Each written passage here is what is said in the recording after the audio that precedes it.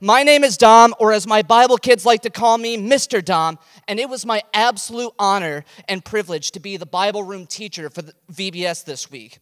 And you know, Jesus talks about having faith like a child. And I think as adults, we kind of logically know what that means, but it is a whole nother thing to see it in real life, to see the eagerness and the passion and the love to interact and engage with the word. It's truly beautiful. It's something to behold, and it's something we should aspire to. And I got to see it all week. I loved the excitement, I loved the energy, and we're doing a treasure hunt this week. Who wouldn't be excited on a treasure hunt? You know, even at five years old, a five year old doesn't know what GDP is or economics or how money works, but they know that treasure has value, even at that young of an age. They know that we are searching for something that is valuable. And there's an excitement and there's an anticipation that comes with striving for something that we know is going to be worth it. And the treasure we were hunting this week isn't just any treasure. It's not silver, it's not gold, it's not stocks. It is eternal life in a perfect place with a perfect God. And it's beautiful. So, to illustrate that this week, we had this little bag of treasure. And what we did is every single day before we got started with the Bible lesson, there was some sort of challenge or some sort of game. And what they were trying to do is get the treasure, seek the treasure. It's a treasure hunt. So, you know, there, there, was a, there was a few of them, but my absolute favorite was probably the very first one we did when the kids first came downstairs on Monday morning.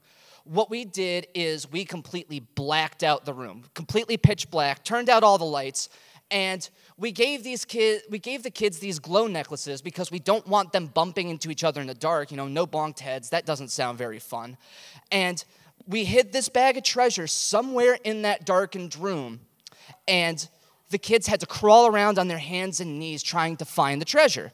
And first of all, it was just a really cool visual seeing all these kids, all the glow sticks in the dark, just going this way and that and bouncing around looking for the treasure. the problem is is it's dark and the bag of treasure is small and the room is rather big. And so it's really hard to find something that you can't see. And it was only when we found a flashlight that we were able to actually see in the darkness and find the treasure. And like I said, it was a really awesome visual, but it really, really drives home the fact that this world can be a really dark place. It can be scary and it can be confusing and it can be lonely. And so, like we and like we said, like there were tw- over 20 towns that were represented at VBS this week. What that means is that there are a lot of kids that came to VBS this week that were potentially living in darkness, that are potentially stumbling around in the dark, scary, lonely place, trying to figure out what is valuable? Where is the valuable thing? And for those kids specifically, what I wanted to impress upon them is it doesn't have to be like this. There is a light. We call it the Bible. There is a treasure, and you can find it. All you have to do is open it up and turn the, turn the light on. That was just one of the cool things we did to try to get to the treasure. We tried to break into bo- into locked boxes. We played the floor is lava. There was a whole bunch of things. And every day, every day the challenge shed light on how we search for the treasure. We learned about how there are people in the Bible who are also trying to find the treasure. And if we follow in their footsteps, we will journey our way towards it. We talked about how the uh, how there's a gap between us and the treasure. But the cross that Jesus died on bridges that gap so that we can walk across and reach it. And finally, we even talked about how the Holy Spirit is a piece of the treasure, the piece of this eternal life that we have waiting for us in heaven that comes to us and fills our hearts with life and life abundantly. And, but throughout the week, there was this one additional theme that I kept noticing kept popping up over and over again. And it wasn't intentional, but it was something truly impactful, and I really hope the kids remember it is we talked about the promises of God. And guys, what do we know about the promises of God?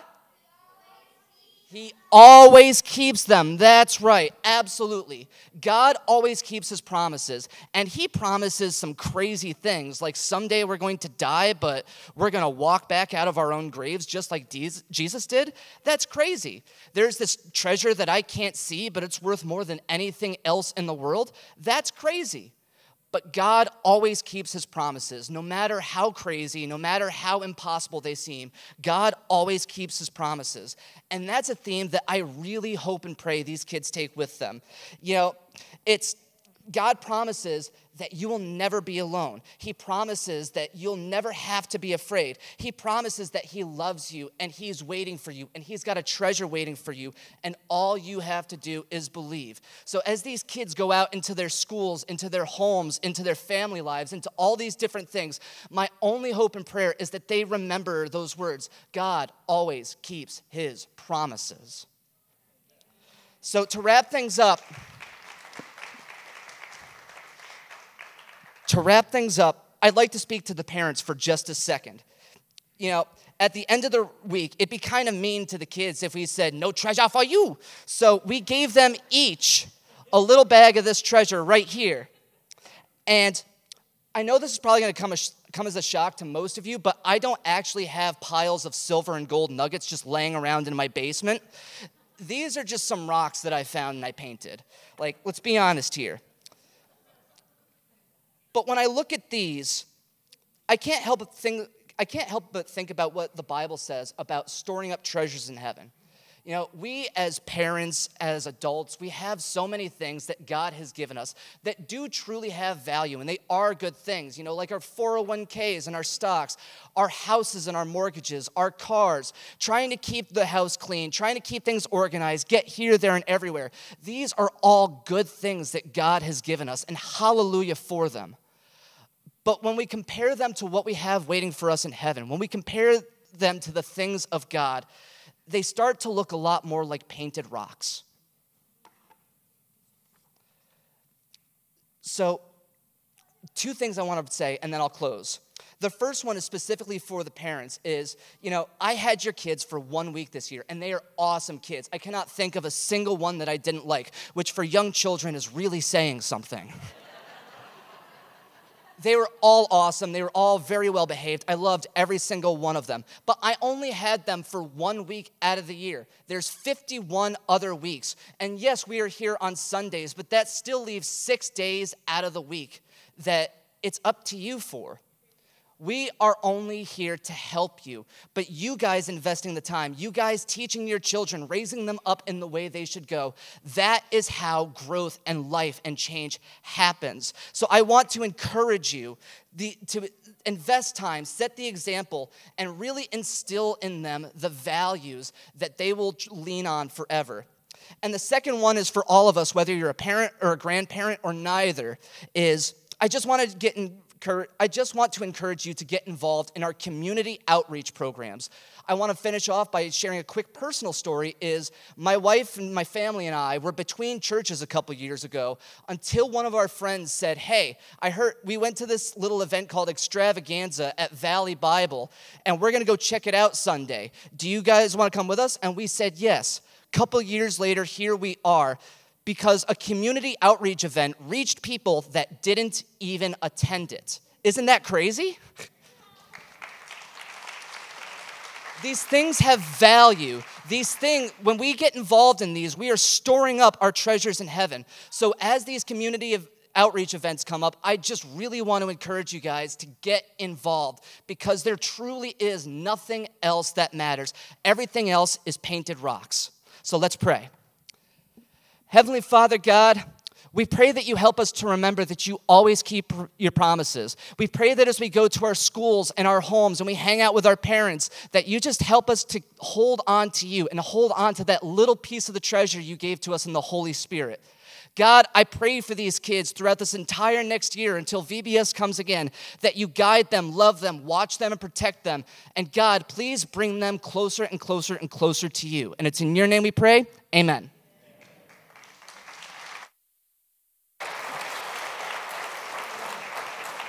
Thank you, Dom. Oh my gosh. Preach it, brother. Oh my gosh, that's so good. Wow. Just pardon me while I edit my message because he just gave it. So, I know I, I think uh, so grateful for our team and what a beautiful group of people. I just have a couple things I want to add to that just to reinforce really everything that he just said. And so, I again want to thank those who. Uh, who are part of this, those who are wearing or not wearing, you know you were engaged in this, and parents, way to go bringing your kids in. So, well, why do we do family ministry here at Valley Bible Church? That's the question I'm just going to pitch before us. Why do we do this? I don't think I really need a lot of help answering that question, but I'm going to provide you why I think God has pressed it on our hearts as a church to do family ministry. And uh, part of it is God tells us so in His Bible. I'm just going to share a few verses with you. Psalm 71, verse 18. So even to old, even to uh, old age and gray hairs. I love this one. Even to old age and gray hairs, O God, do not forsake me until I proclaim your might to another generation, your power to all those to come. And I love that. Being a multi generational church, and we witness during this week the power of that uh, dynamic of mentoring. Psalm 102, 18 says, Let this be recorded for a generation to come, so that people yet to be created may praise the Lord. That's vision. I don't know about you, but I was blessed to have some uh, parents and grandparents who prayed for me and for others who, before I was even born. And, uh, and so I'm so grateful. And some of you have had that blessing as well. And you can do that even right now. Uh, a few weeks ago, we were looking at Psalm 22 in prayer school. And uh, the psalmist David was moved to prayer out of despair. But in the midst of that psalm, God opened up his grace and gave him a vision of his love for him then in that moment but with images of Christ that would come, a forecast of a vision of hope, even in the moment of despair, came to him. And it went beyond this moment, it went beyond Israel, but a hope to the nations. Not only that, a hope to the generations. Listen to what it says in Psalm 22 30. It shall be told of the Lord to the coming generation. Such a vision that God has given to us. Earlier, uh, Gerard shared from Deuteronomy chapter 6, a famous passage. It kind of set our heart for worship today, right? You've heard it. Let me talk us through just a moment. Hear, O Israel, the Lord our God, the Lord is one. You shall love the Lord your God with all your heart, and with all your soul, and with all your might. And these words that I command you today shall be on your heart. You shall teach them diligently to your children, and shall talk of them when you sit in your house, and when you walk by the way, and when you lie down, and when you rise. You shall bind them as a sign on, the, on your hand, and they shall be frontlets between your eyes. You shall write them on the doorposts of your house and your gates. What does this passage teach to us? so much. If we had the rest of the day during a storm, I'd, I'd, I'd share it with you, but let me just highlight the highlights. The word here is the Shema. That's the word. This is what the Israel would actually refer to this as the Shema. Shema means hear, listen, hear. Are you hearing what God has, has even said to us today? Hear. Hear, O Israel. To hear what? Who the Lord is. The Lord is your God. The Lord is one God. And that was an important message for they lived in a land filled with all kinds of other gods, and so do we. But, church, the Lord is our God, and He is one God, and He's our God. And He's so much better than painted rocks. I love that. Who is the Lord? How should you relate to Him? Love Him with everything you have, love Him with your whole heart.